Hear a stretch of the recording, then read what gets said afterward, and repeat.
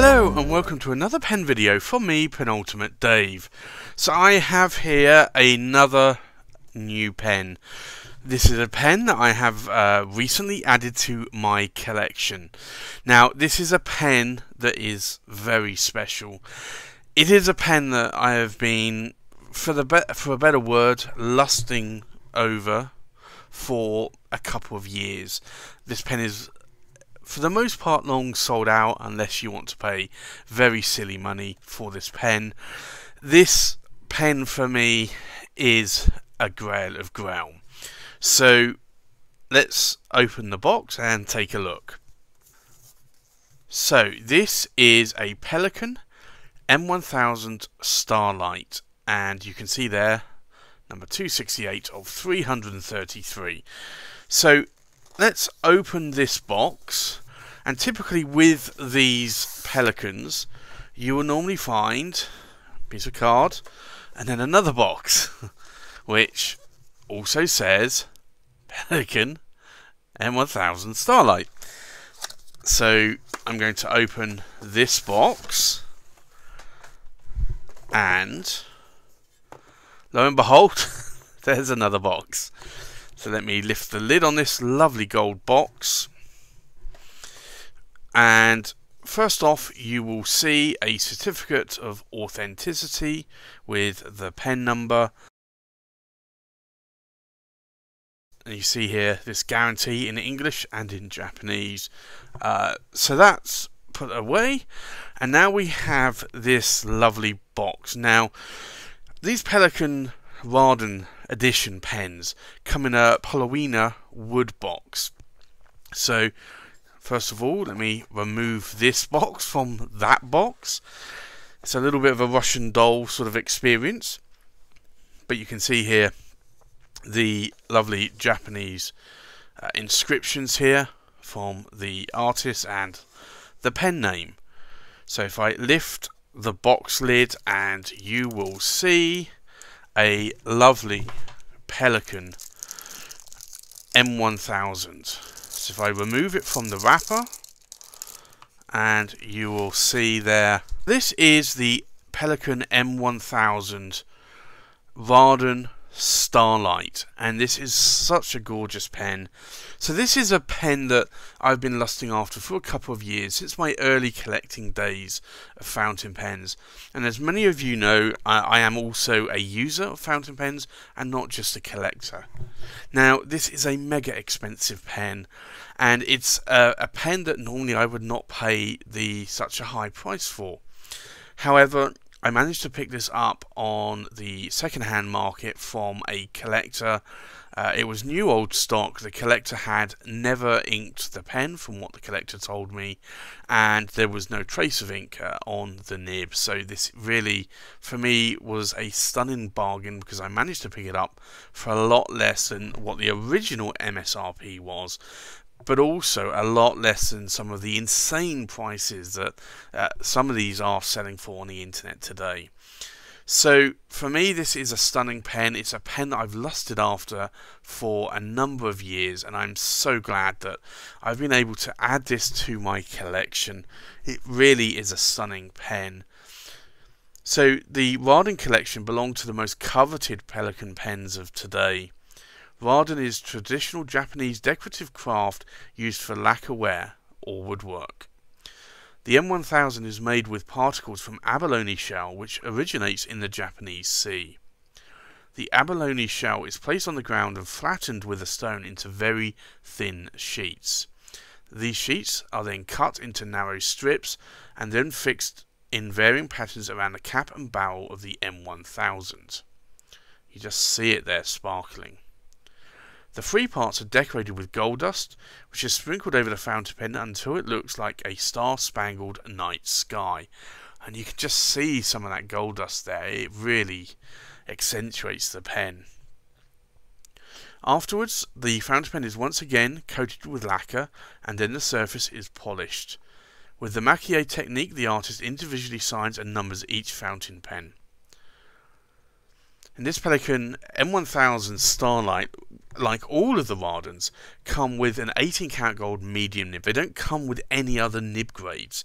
You can swap the nib out if you wanted to and uh, put in a broad nib. Um, that may be something that I'll do on a later date, but to be honest, the M1000 nibs are quite bouncy and tend to write more like a broad for me, so I suspect I probably won't do that. So th this pen was released in autumn of 2014 and it's limited to an, a uh, limited edition of 333 pieces worldwide. But as you can see here, this pen really, really is stunning. So I am so glad I was able to pick this pen up and add it to my collection. And I think you can probably see why I've called this my Christmas pen. Uh, I did actually get it a little bit before Christmas, but I decided I would put it away until Christmas because I think with all this gold dust here and the glittery effects and the Raden, it just looks to me like a Christmas pen. So I tend to normally buy some special pens, definitely around Christmas time and my birthday, and so this is going to be my Christmas pen for 2019. And I am really, really glad that I managed to pick this pen up. And you can see here it comes with an 18 karat gold medium nib. And that really is just a lovely lovely nib. So I do like these Pelikan nibs. And for me I think the size in my hand this really is a good size so I do like the weight and I do like that it comes with a piston mechanism. And these Pelikan M1000s typically hold around about 1 milliliter to about 1.5 milliliters of ink. Uh, but you can see there that is a very good size. Now, I can post the cap if I want to. Um, you are going to be posting it over the Raden and over that gold dust. And even though you cannot feel that, um, because there is a lacquer over there, it's not going to be a pen that I'm going to post. And I don't normally post my pens, but for me, uh, I would certainly not prefer to post this pen. And uh, I do kind of cringe when people ask me, especially when there's some kind of maki-e going on, uh, or even metalwork. Can I post the the uh, cap? Because, uh, or even if they just go ahead and do it without actually even asking. Uh, but uh, for me, I just would not post the cap on this pen. But as you can see there, it's a really stunning, stunning pen. So I think what we'll do, we'll do a uh, size check, we'll do a weight check, uh, we'll do a pen comparison, and then we'll do a writing sample. So if I just take it out of its bed and put the lid back on, we can do a proper size check here. So the length of the pen, it's the same as every Pelikan M1000, so it's about 145 millimeters in length and then the cap is about 70 millimeters in length. And if I take the cap off and we'll measure to the tip of the nib or tip of the tines we're looking about 133 134 millimeters in length. So this really for me is the ideal size pen uh, and I do like it that the Pelikan M1000s are actually quite light as well. So, the weight of the pen, we are looking at just under 35 grams uninked. The cap, we're looking at just under 11 grams. And then the pen uninked, we are looking at just under 21 grams. So by the time you add ink to that, it's going to be around about 22 grams. But as you can see though, this pen really is a beautiful pen. So this is a pen that I am going to write with, and I know a lot of people will say to me, how can you write with this pen? It's a work of art. Well, it is a work of art. But if you have listened to or watched videos from companies like Pilot, even, you hear some of the sales guys there saying that the maki-e artists in Japan actually cringe when they hear a pen is being put away in a collection and never written with because they these pens are made to be written with, and for me, likewise, it would be like buying a brand new car and never driving it because uh, although maybe you would like to keep the car pristine, or in this case the pen pristine, I just think that it's a bit of a sacrilege. I it the pen was be was made to be written with, and I'm gonna write with it. So, for anyone that hates me for that, then I'm sorry, but uh, I do like writing with my fountain pens, and uh, this will be no exception.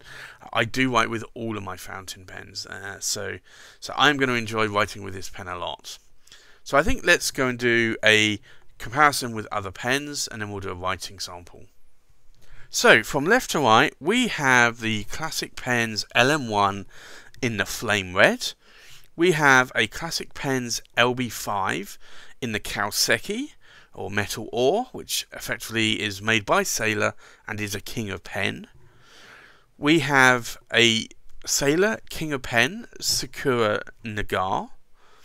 We have a Visconti Luxor Obelisk. We have the Pelikan Souverän M1000 Raden Starlight. We have the Visconti Ecstasy Dowd. We have the Visconti Camelot. We have the Visconti Medici Il Magnifico. We have the Visconti Last Templar Jacques de Molay. And we have a Danitrio uh, bamboo story in the Tamenuri finish. Now, let's do a writing sample. So, this is the Pelikan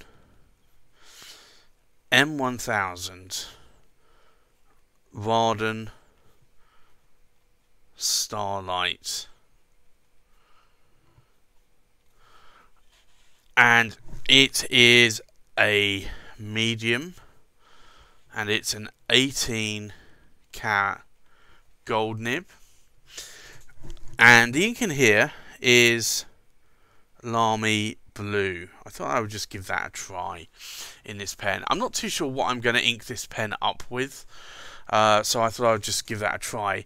Now, in terms of wetness, you'll see that this is quite a wet nib. These M1000s tend to be quite wet. So, I used to have a Pelikan M1000 and I sold it, I think it was uh, June 2019, and I actually kind of regretted it. So I was actually glad when I was able to pick this pen up that I was able to, to pick it up because it, it was another M1000 with another medium nib, but it was also a very special Pelikan M1000. And I've always liked how these pens write. They write very, very super wet and uh, they are a dream to write with. So, for me, I have a number of Pelikans in my collection. Uh, I did let a couple go, uh, an M800 Renaissance uh, Brown and the M1000, uh, but I'm glad I was able to add this pen to my collection and as my Christmas pen for 2019. So that's the unboxing review of the Pelikan M1000 Raden Starlight. Thanks for watching. Please like, comment, and subscribe. And I'll see you on the next pen video. Bye bye.